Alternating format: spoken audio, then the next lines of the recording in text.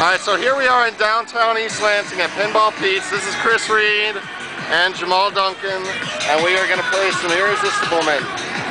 Jamal is going to be kind enough to film for us. Thank you, Jamal.